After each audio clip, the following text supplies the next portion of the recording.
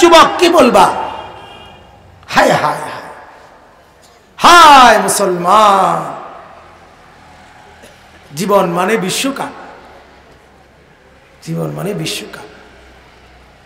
জিন্দিগি বানায় ফেলছে ফুটবল খেলা। মাতাল যুবক, পাগল পারা খেলার খেলা। বল আর বল।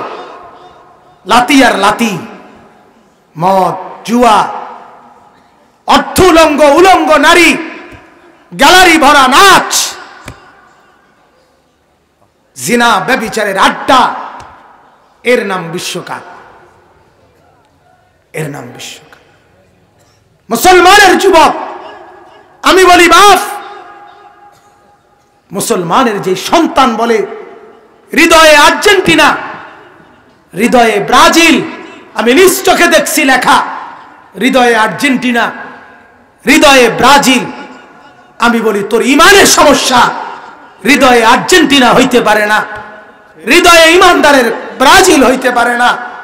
আর্জেন্টিনার খেলোয়াড় সব হলো কাফের বেইমান ব্রাজিলের সমস্ত খেলোয়াড় বেইমান কাফের। কাফের ইমানদারের বন্ধু হইতে পারে না, কলিজায় হইতে পারে না। হৃদয়ে আমার কাবা, হৃদয়ে আমার মদিনা, হৃদয়ে আল্লাহ, হৃদয়ে মোহাম্মদুর রসুল্লাহ হৃদয়ে আর্জেন্টিনা হবে কেন? হৃদয়ে ব্রাজিল হবে কেন? হৃদয়ে হবে আল্লাহ। কোথায় মা, কোথায় বাপ? কোথায় অভিভাবক?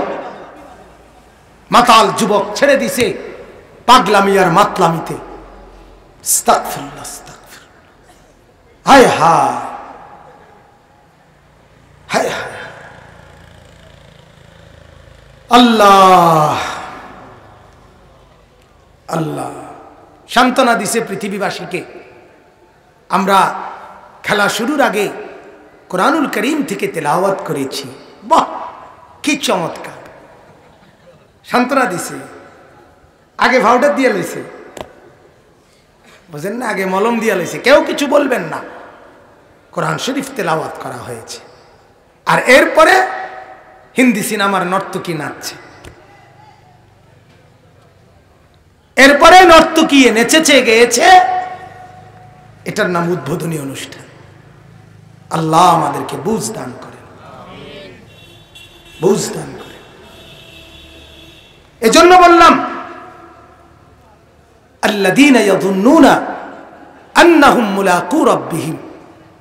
যারা এটা ভাবে, কলিজায় রাখে দিলে বসায়, আমাকে আমার আল্লাহর সাথে মোলাকাত করতে হবে আমার বাপ কোরআনের আয়াত শুনেন, আল্লাহ তালা বলেন তাকুম নবীকে আল্লাহ বলছে, বন্ধু, আপনি যখন নামাজে দাঁড়ান, আমি আল্লাহ তালা সরাসরি আমার কুদরতি দুই চোখে আপনাকে দেখি।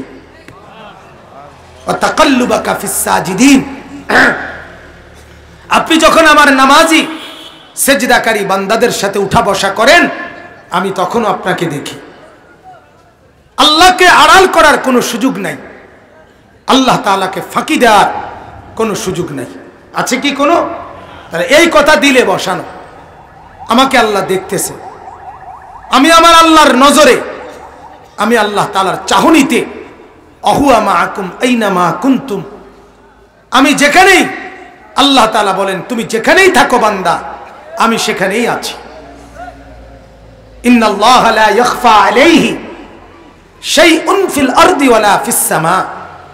আল্লাহ বলেন সত্যবক জমিনের নিচে, সাত আসমানের উপরে, কোথাও কোনো কিছু আমার থেকে গোপন নয়। কার থেকে গোপন নয়? আল্লাহ তালা থেকে গোপন। অতএব আপনি শুধু এটা ভাববেন যে আল্লাহ তাআলা আমাকে দেখতেছেন আর আমি আল্লাহর সামনে দাঁড়াইতেই হবে দাঁড়াইতেই হবে। আমার জিন্দিগির হিসাব দিতে হবে। শুধু আমল নামা দিবে এটা না, বরং আমাকেও দাঁড়াইতে হবে। আরেকটা কি? আল্লাহ তালা বলেন ও আন্নাহুম ইলাইহি রাজিউন। আল্লাহ তালা বলেন, দ্বিতীয় হলো যে ব্যক্তি সর্বক্ষণ হাঁটতে, চলতে, উঠতে, বসতে লেনদেন, আচার, অনুষ্ঠান, চলা, ফেরা, উঠা, বসা সর্বাবস্থায় যার দিলের মধ্যে এই কথা আছে, আমি যাই করি, হাসি আর কাঁদি, বিশ্রাম করি আর আহার করি, ফুর্তি করি আর আনন্দ করি, নেক করি আর গুণা করি, হালাল করি আর হারাম খাই, আমাকে আল্লাহ তালার কাছে পরকালের দিকে, হাসরের দিকে ফিরে যেতে হবে। আল্লাহ তালা বলেন এই দুইটা জিনিস মেহনত করে আল্লাহওয়ালা বুজুর্গদের সান্নিধ্যে থেকে, আল্লাহওয়ালাদের সোহবতে থেকে যে নিজের মধ্যে এই দুইটা গুণ তৈরি করছে, যে সারাক্ষণ তার দিলে আছে, আমাকে আল্লাহর সামনে যেতে হবে। সারাক্ষণ তার দিলে আছে, আমাকে ফিরতেই হবে, আমি দুনিয়ায় থাকতে পারব না। আল্লাহ তালা বলেন তার জন্য সবরের মাধ্যমে, নামাজের মাধ্যমে সাহায্য, প্রার্থনা করা সহজ। আর এটা যে ভুলে গেছে, আমি আল্লাহর সামনে দাঁড়াবো, এটা যার মনে নাই। আমাকে কবরে যেতে হবে, আখেরাতে ফিরতে হবে, এটা যার মনে নাই।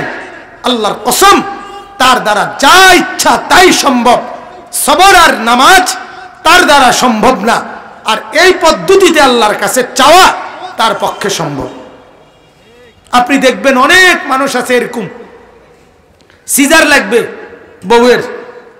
চোদ্দ গোষ্ঠীরে ফোন দিতে আছে। দোয়া করেন, চাচা, মামা, জ্যাঠা, ফুফা, খালু, দাদা, নানা, শালা, দুলাভাই, ভাই, ভাবি, চোদ্দ গোষ্ঠীরে খবর দিতেছে। দোয়া করেন দোয়া করেন, সিজার লাগবে সিজার লাগবে। সিজার লাগবে। এত মানুষের দোয়ার লাগে দায়িত্ব না দিয়া তুমি সেজদা দাও। কথা বলেন না। তুমি সেজদা দাও। তুমি নামাজ পড়ো। দেখা যাবে সবাই রে দায়িত্ব দিয়া। ওনার নিজের খবর নাই। নিজের খবর নেই। আজীবন নামাজ পড়ে নাই। সে এখন বউয়ের এই বিপদে নামাজ কেন পড়বে? এই জন্য আল্লাহ তালা বলছেন, সবাইকে তো বলা যায় নিজস্ব খামখেয়ালি পদ্ধতিতে, কিন্তু আল্লাহ তালার দেওয়া পদ্ধতিতে সেটা হলো সবর এবং নামাজ। এই দুই পদ্ধতিতে আল্লাহর কাছে চাওয়া। এখন আল্লাহর কাছে চাই না, এমন আমরা কেউ আছি? কথা বলেন না? নাই। এটাই আমার কথা। আমরা চব্বিশ ঘণ্টা, এই যে আমরা ঘর থেকে বের হই আমরা প্রত্যেকেই চাই যে আল্লাহ সুস্থতার সাথে আবার ঘরে ফিরাই দিয়েন আমরা প্রত্যেকেই চাই আল্লাহ আমাদেরকে ব্যবসায় লাভ দিয়েন, বিবি বাচ্চারেন এককার অথবা যেই কোনো জরুরত আমরা প্রতিনিয়ত আল্লাহ তালার কাছে চাই। কিন্তু চাওয়ার ক্ষেত্রে যেটা পদ্ধতি আল্লাহ বলছেন, আমি চাই আমার দোকানে খুব বেচা কিনা হোক, আমি চাই আমার একটা বড় বিল্ডিং হোক, আমি চাই আমার ছেলে মেয়েগুলো সুসন্তান হোক। আমি চাই আমার স্ত্রী সবসময় সুস্থ, সবল থাকুক। আমি চাই আমার যেন কোনো রোগ সুখ না হয়। তো আমি তো সবই চাই, কিন্তু চাইতে গিয়ে এক নম্বরে আল্লাহর কাছে চাওয়া যেই পদ্ধতি, সবর এবং নামাজ, সেটা আমার কোথায়? সেটা কোথায়? এটাই আজকে আপনাদের কাছে আমার ছোট্ট সবক। সবর এবং নামাজ জীবনের অঙ্গ, জীবনের অংশ মুসলমান হিসেবে বানা। আমিও মুসলমান, আপনিও মুসলমান। এটাই আমাদের মূল কথা, আমার আজকের কথা। সবরকে জীবনের অংশ বানান, নামাজকে জীবনের অংশ বানান। এখন প্রশ্ন হইল, সংক্ষেপে বলতেছি, সবর কি? সবর বলা হয় তিন জিনিসকে। কয় জিনিসকে? ব্যাখ্যা নাই, অল্প কথায়। সবর হলো তিন জিনিস। এক আসবরু আলা তোয়া আল্লাহ তালার ইবাদত এবং বন্দিগির উপরে সবর করা। মানে পৃথিবীর যত কিছু হোক, দুনিয়া উল্টে যাক, আমি আল্লাহ তালার ইবাদত ছাড়ব না। এটা সবর। এটা ধৈর্য। এটা ধৈর্য। আমি সবর করব। প্রচণ্ড শীত। কনকনে ঠান্ডা, আমি ফজরের নামাজ পড়বই। আমি মসজিদে যাবই, আমি যাব আমি জামাত পড়বই। আমার শায়েখ আল্লামা মুফতি মুশতাকুন নবী সাহেব বহু সময় আমারে বলছে হজরত যে মৌলানা মাহফিলে রওনা দেওয়ার সময় নামাজের ওক্ত হইলে জামাত সাথে সাথে পড়ে নিবেন। দু চার মিনিট মাহফিলের টাইম দেরি হইল। তেমন উল্লেখযোগ্য কোনো ক্ষতি হবে না, কিন্তু চেষ্টা করবেন জামাত যেন না ছোটে। আমি নিজে শুনছি হজরত বহুবার দোয়া করতেন, করে, আল্লাহ, জিন্দিগির শেষ নামাজটাও শেষ নামাজটাও দাঁড়িয়ে মসজিদে জামাতের সাথে পড়ার তৌফিক দান করে এটা সবর, ইবাদতের উপরে টিকে থাকা। আমি গতকালকে সন্দীপ গেছিলাম, সন্দীপ। চট্টগ্রাম। চতুর্দিকে বঙ্গোপসাগরের মাঝখানে এই দ্বীপ। স্পিড বোট দিয়ে যাইতে হয় উত্তাল ঢেউর মধ্যে। দুই দিন ছিলাম আমি। ওইখানে আমি একজন, গতকাল যেই মাদ্রাসার মাহফিলে গেছি। ওই মাদ্রাসার মহতামিম সাহেব। না হইলেও একশো বছরের উপরে বয়স, বুড়া মানুষ। আজীব এক জিনিস দেখছি আমি। ওনারে দেখছি আমি। দুই বাড়ি। উনি নামাজে সারাক্ষণই চেয়ারে বসে থাকে। নামাজের টাইমে দেখলাম উনি দাঁড়াইছে। দাঁড়াইয়া নামাজ নিয়ত বানছে ইমাম সাহেবের পিছনে। এ মন চার পাঁচ মিনিট পরে বা পাঁচ সাত মিনিট পরে উনি বসে গেছে। নিচে মাটির বসছে আর কি। বৈশা বাকি নামাজ পড়ছে। আবার একটু পরে দাঁড়াইছে। আবার একটু পরে বসে গেছে। এমনি এমনি নামাজ শেষ করছে।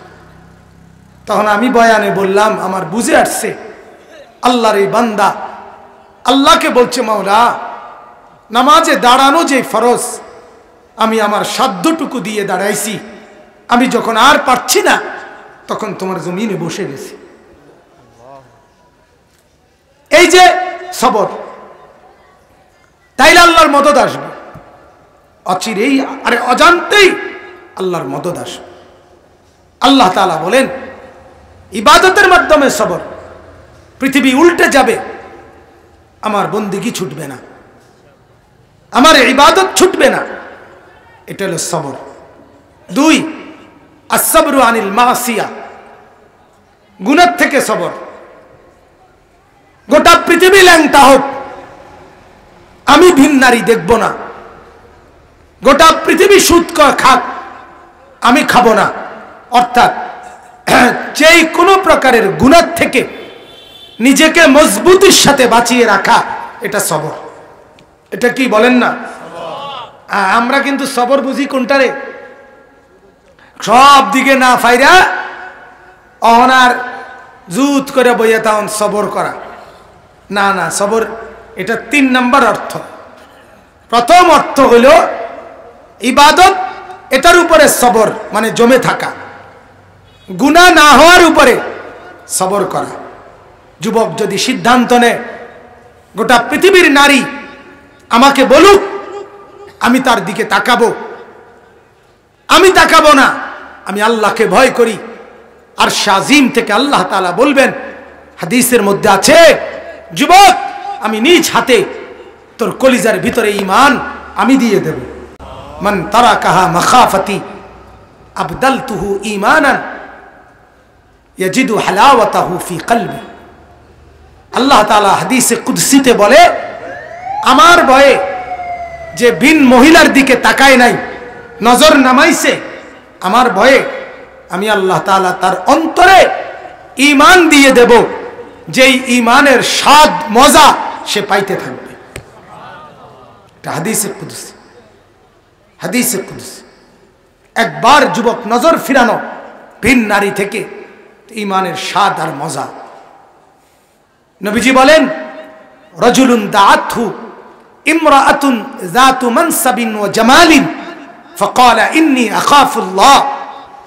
যেই যুবককে, যেই পুরুষকে কোন সুন্দরী রূপসী, বংশীয়া নারী জেনার দিকে আমন্ত্রণ করে, অশ্লীলতার দিকে, প্রেমের দিকে, সেই ছেলে, সেই যুবক, সেই পুরুষ যদি বলে, না, আমি আল্লাহকে ভয় করি, ইন্নি আখাফুল্লাহ, খোদার কসম আর শাজিম থেকে তখন আল্লাহ তাআলা খুশি হয়ে বলে, যুবক, আমি ওয়াদা দিলাম হাসরের দিন আমার আরশের নিচে আমি তোকে আমার পাশে বসাবো, আমার সাথে রাখব। ছেড়ে দিলি ভিন নারীর চেহারা, আমি তোকে আমার চেহারা দেখতে দেব। আমাকে দেখতে দেব। সাত ধরনের ব্যক্তির একজন এটা। জন্য গুণা ছেড়ে দাও। সুদ না খাওয়া। আমার বাপ আপনাদেরকে বলি মৌলানারা ওলামারা, মাদ্রাসা, মসজিদের হুজুররা, দুনিয়ার বাটফারি, উপার্জনের নানা রকম ধান্দা ওনারাও বুঝে। আমি সবসময় এটা বলি, আমরা বেকুব না। আমরা ব্যাকল না আমরা। আপনি ফাঙ্গাস তেলাফিয়া খাইয়া বড় হইলে, আপনি চাল, ডাল, ভাত খাইয়া যদি বড় হয়ে থাকেন, তা আমরা হুজুর কি সিরা খাইয়া বড় হয়েছি কথা বলেন না কেন? বুঝি না কি আবার? সুদও বুঝি, ঘুষও বুঝি। ধোকা, বাটপারি, সিটারি, সব বুঝা সম্ভব। কিন্তু কেন করি না? ছয় হাজার টাকার বেতন দিয়ে ইমাম সাহেব চলে। আট হাজার টাকা বেতন দিয়ে ইমাম সাহেব চলে। এত বড় মাদ্রাসা এই মাত্র হিসাব দিল। মহতামিম সাহেবের হিসাব শুনে আমি অবাক হয়ে গেলাম। আয়ের চাইতে কি পরিমাণ বেশি ব্যয়? ঋণ কি পরিমাণ? আহা! আমি এই বছর খুলনা চিল্লা লাগাইছিলাম। তাবলিগের সফরে চল্লিশ দিন খুলনায়। এই সফরে আমি Khulna university, Khulna medical college এবং খুলনা ইঞ্জিনিয়ারিং ইউনিভার্সিটি তিনোটাতেই আমি গেছি। আমাদের জামাত মেহনত করছে।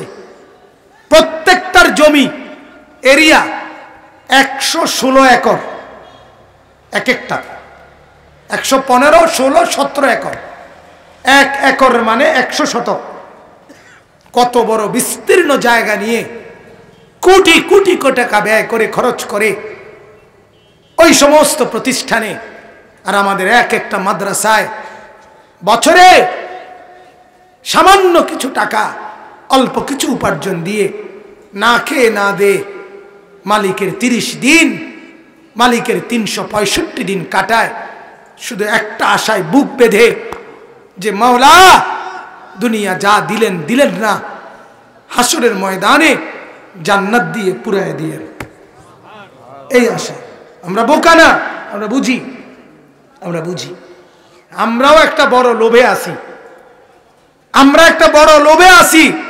তোমার লোভ ষাট বছরের, আমার লোভ অনন্তকালের। তুমি লোভ করো ষাট বছরের, আমি লোভ করি অনন্তকালের। তুমি ভোগ করো দুনিয়া ষাট বছর, আমি ভোগ করব জান্নাত। অনন্তকাল, ইনশাআল্লাহ। ইনশাআল্লাহ। এজন্য গুণা থেকে বেঁচে থাকা। গুণা থেকে বেঁচে থাকা। আজকে মা বাপ সন্তানকে গুণার থেকে বাঁচাবার কোনো ফিকির নেই। সারা রাত একই ঘরে মা বাপ থাকে, পাশের ঘরে ছেলে উলঙ্গ ছবি দেখে। সারা রাত নর্তকীর নাচ দেখে, ফজরের নামাজ দিনকে দিন, মাসকে মাস, বছরের পরে বছর পড়ে না। স্বামী আছে, অথচ স্ত্রী ফজর পড়ে না। বাপ মা আছে, ছেলে মেয়ে নামাজ পড়ে না।